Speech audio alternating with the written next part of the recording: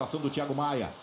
Volta pro Vasco, Paier, Prachedes, toma o Lucas, ela cai no Paier, dominou camisa 10 do Vasco, traz pra canhota, ele é ambidestro, cruzou pro Verratti! Vem o Paier, quatro jogadores na barreira, Paier só cavou segunda trave de cabeça. O lateral do Vasco ganha, na insistência, bola pro Paier. Marcação forte, ganha. Momento em qualquer lugar, acesse mengo.com. Tira, Medel, tira a zaga do Vasco. Paier Dá pro. Ele tá, tá, participando pouco do jogo até agora, né? Paier enfiou, atenção pro Peck, que bola do Paier, Peck bateu. Toca lá na direita, Paier domina. Verrete pediu, bola atravessada era pro também do Wesley com o técnico Tite. A melhor chance do Flamengo no jogo, vem o Vasco, Verrete pro Paier, Paier pro Peck. Na primeira trave o Verrete tá na marca do pênalti, a bola vem. Entrou no jogo, né? E aí o Flamengo entrou no jogo com ele, né? O Flamengo agora tá Paier não domina. Verrete vai brigar com o Cascaeta. Sobra talento de. Bola no Paier.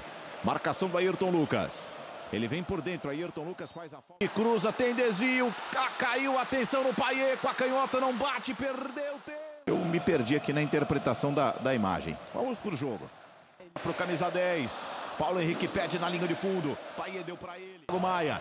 Paier bateu na primeira trave, a bola fica viva na pequena área, voltou pro Verrete, bateu cruzado. A bola... toda a extensão da área, Paier tenta evitar a saída, não consegue.